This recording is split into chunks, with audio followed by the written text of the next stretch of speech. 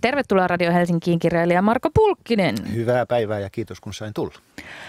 Me äsken tuossa small talkattiin meidän viikonlopusta ja mun ei ollut ollenkaan vi- mielenkiintoinen, mutta sun oli, sä olit nimittäin keikalla, jossa mä olisin halunnut olla. Mitä sä olit katsomassa?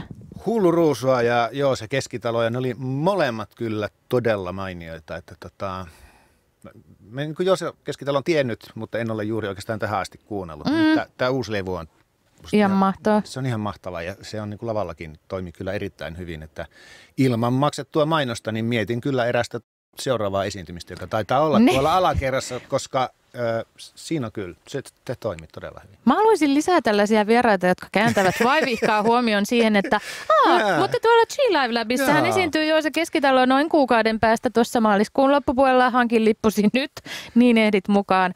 Mutta tota... Rahalla meitä saa. Kiitos. Kiitos tästä. Mä alan vinkkailemaan näitä muillekin vieraille. Mutta hei, mennään siihen, miksi sinä olet täällä, kun meillä on niin rajallisesti aikaa onneksi olkoon tämä varmaan suurin kunnia, joka sinua on koskaan kohdannut sun elämässä. Siis Syntax Error on Radio Helsingin helmikuun lukupiirikirja. Tutuuko se, mi- miltä se tuntuu? Eikö ihanalta? Tuntuu se oikeasti ihanalta, varsinkin kun se on esikoiskirja, niin niistä nyt ei niin kuin tavallaan tiedä, että kukaan ne ikinä mistään löytää, niin se on aina mahtavaa, jos siitä puhutaan ja se toivottavasti löytäisi lukijansa. Se varmasti tekee niin ja mä vinkkaan sulle sitten, koska minä, minä päivänä me tarkalleen siitä puhutaan, niin sitten sä voit kotona kuunnella ja olla silleen, että ei, olette käsittäneet kaiken väärin. Miksi ne puhuu? Mistä ne puhuu? Mikä, kuka, mikä tämä on? Hei, tämä ei ole mikään työhaastattelu, mutta mä haluaisin tustua vähän sinun kirjailijana ja ihmisenä, niin voitko kertoa vähän sun ammatillisesta taustasta No meille? mä, mä oon ollut toimittajana yllättävän pitkään, eli jostain nuorena poikana aloittanut Jyväskylän ylioppilaslehden päätoimittajana ja siitä eteenpäin oikeastaan koko elämäni jollain tavalla toimittajana. Että siinä mielessähän tämän ohjelman tämmöinen toimittajamitoitus on erittäin hyvä, koska julkisella puolellahan se on yleensäkin, mutta yksityisellä puolella se on tuommoista 0,7, nyt meitä on täällä kaksi. niin, jos, niin. jos mä vaikka tipun tuohon lattialle, niin toinen nostaa kyllä, ylös. Kyllä, Mutta tota, äh, ensin sanomalehti ja sitten iltalypsyä käsikirjoitin tavallaan kolme kautta ja sitten ää, Yleisradiossa tiedetoimittajana dokkareita, Prisma-studiota ja nyt sitten viimeiset pari-kolme vuotta puoli seiskaa. Miten sä näkisit, että tämä sun ammatillinen tausta näkyi siinä, miten sä aloit lähestyä tällaista niin kuin romaanin kirjoittamista tai siinä kirjoitusprosessissa tai ihan missä tahansa aiheen valinnassa, valinnassa tai muotoutumisessa, missä tahansa? Joo, se muotoutuminen on ehkä hyvä sana, koska ei mulla ollut mitään ajatusta oikein, kun mä kävin kirjoittamaan. Mulla vain oli aikaa siihen varattuna ja joku ajatus, koska jostain pitää lähteä mm. yksinkertaisuudessaan, että mitäs jos tämmöinen ä, yritysvalmentaja, self-help-oppaiden tekijä itse alkaa mokata, niin miksi ihmeessä ihmiset menisivät hänen luokseen kysymään ja antamaan rahaa, että kerro meille, miten me elämme parempaa elämää ja menestymme. En mä tiedä, vaikuttiko se tähän oikeastaan, se toimittajuus tietysti niin tavallaan myös ne muut aiheet tai teemat tuossa, jotka on niin kuin sosiaalinen media ja siellä itsensä brändääminen, niin onhan ne mulle tietysti jollain tavalla läheisiä. Mm. Toimittajuudesta on sitten tietysti se hyvä puoli, että on tottunut siihen, että perse penkkiä Niin. Ei niin kuin jäädä odottelemaan deadlineja, koska muuten tulee hukka. Kyllä.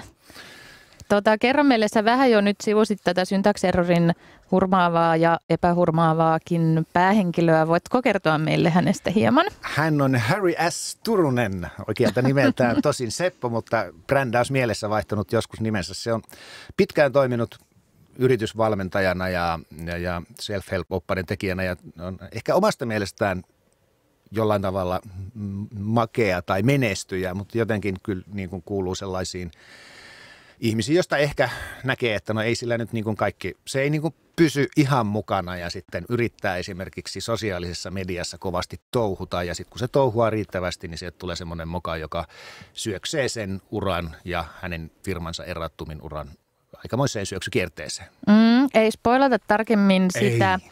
mutta mm, miksi tämä aihepiiri oli, tai no sehän on todella mehukas aihepiiri tavallaan, mutta miksi se tuntuu erityisen hedelmälliseltä? Ja mikä on sun suhde tällaisiin valmentajiin ja koko tähän self-help-kulttuuriin?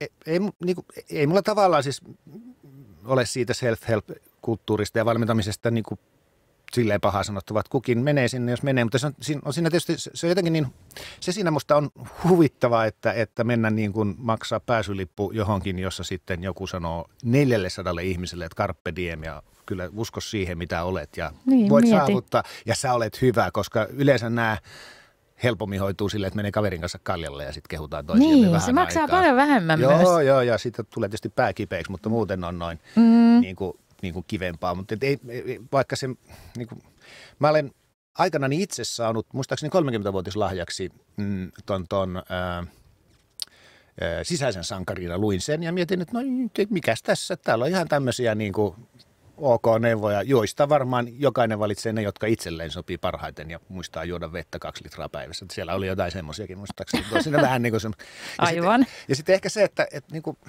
että mä itse en voisi vain kuvitella olevani joku tämmöinen, että hei näin elät ja nyt tulet elämään hyvän elämän ja menestyt. Niin se jotenkin, että miten joku sitten valikoituu, että minkälainen ihminen se on. Niin siinä on jotain musta on. tosi hauskaa, että käympä tässä neuvomaan nyt muita. Kuinka elät tätä elämää? Voiko se paljastaa, että onko sun kirjasi päähenkilöllä joku tietty esikuva reaalimaailmassa? No ei sillä ole, eikä sanota sarasvuota tässä. Ei se mun mm. mielestä niin kuin ole ainakaan pelkästään, että ei se toivottavasti tavallaan myöskään, ei, ei se jotenkin, en, mä en ole tutustunut hänen muuhun tuotantoonsa mm. esimerkiksi. Meinasin joitain tota, mm, self-help-oppaita lukea ja jonkun lainasinkin, mutta lukematta se jäi kyllä. jotenkin ajattelin, että en mä tiedä. Se kirjoittaminen oli paljon kivempaa ikään kuin siitä aiheesta. Niin ja valitettavasti jotenkin tuntuu, että siitä aiheesta tietää jo tarpeeksi, vaikka ei varsinaisesti lukenut, niin mikä kertoo taas jostain jotakin jostakin. Mutta sitten toisaalta vaikka on niin ilmeisen helppoa ja tässä nauriskella tälle henkilöbrändäykselle ja kaikille, niin sittenhän me ollaan jollain sairaalla tavalla myös ikään kuin osallisia itsekin siinä. Tai miten tämä sun mielestä linkittyy kirjailijuuteen nykyään ainakin usein, kun mulla on vieraana kirjailijoita, niin he saattaa valittaa, että kustantamo sanoo, että olisi hyvä olla aktiivinen somessa ja pitäisi olla vähän mediaseksikäs ja sitten aina tämä ei oikein kohtaa sen persoonan kanssa, niin mi- miten sä näet tämän teeman? No se on, äh, kyllähän No itse asiassa Harry S. Turunen on nyt aika aktiivinen Twitterissä, kannattaa käydä katsomassa. Mm. Hänellä, on, hänellä on paljon sanottavaa, erittäin hienoja viisauksia päivittäin. Onko se vielä hashtagia?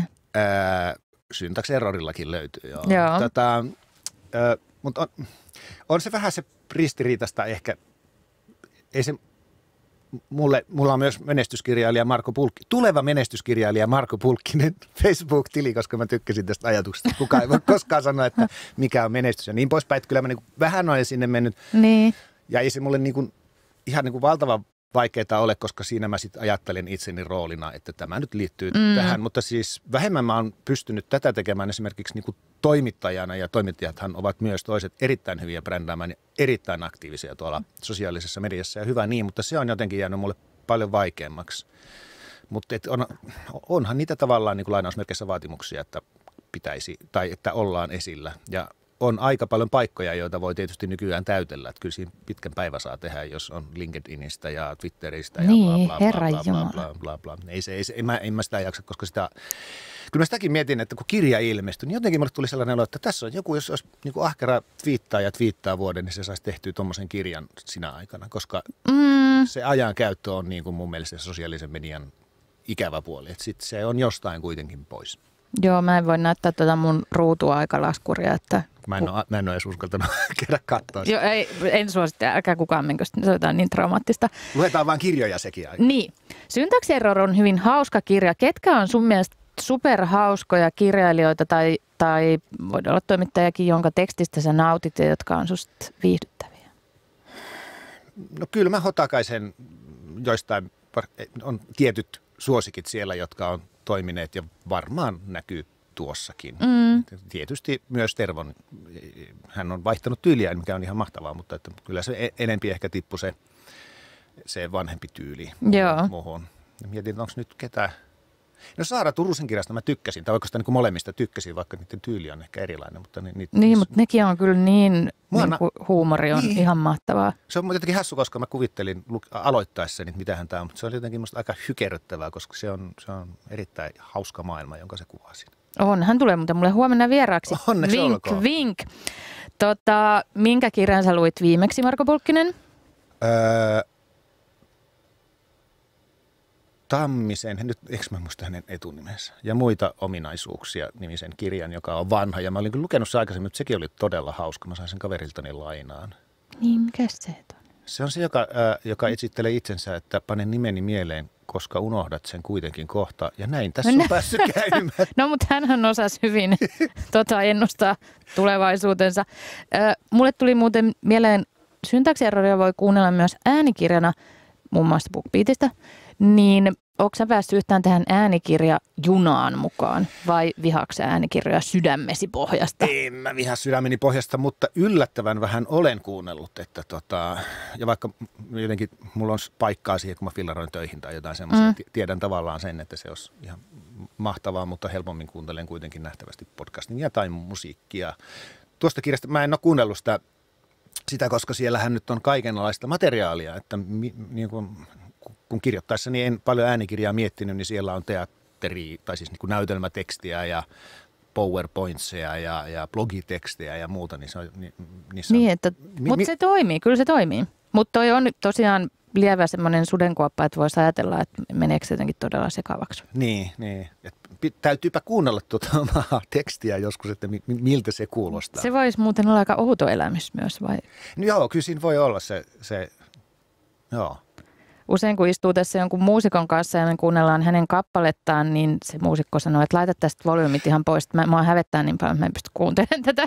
Niin tulisikohan siinä sama, että jos kuuntelisi omaa kirjaansa jonkun seurassa, niin semmoinen jotenkin siitä tekstistä sellainen, että on liian Näin. intiimiä. No se nyt vielä puuttuisi, jos olisi itse sen lukenut, niin sitten sit niin. voisi sit vois mennä kyllä järki. Sehän on nykyään modikasta, että kirjailija itsellä lukee. Tiedän, mutta tota, ehkä siinä voi olla parempi, että sen tekee joku muu. Marko Pulkkinen, kerro vielä lopuksi, että mm, suunnitteletko tai kirjoitatko jo toista romaaniasi? Kyllä, se on jatkoa tälle. Oh. Sen nimi on Control Alt Del. Luonnollisesti. Eikö niin? Ehkä se on Radio Helsingin lukupiirikirja vaikkapa vuoden kuluttua vai no, puolentoista? No pannaan vuosi puolitoista. Kyllä mä toivoisin, se on aika pitkällä. Mä lähden just täältä istumalta, kun pääsen, niin jatkamaan sitä. Ja se on jotenkin, se jää jännittävään kohtaan. Okei, no riennän nyt sinne kuule työpöydän ääreen ja kiitos kun kävit ja kiitos lukupiirikirjasta. Olkaa hyvä ja oli kiva käydä.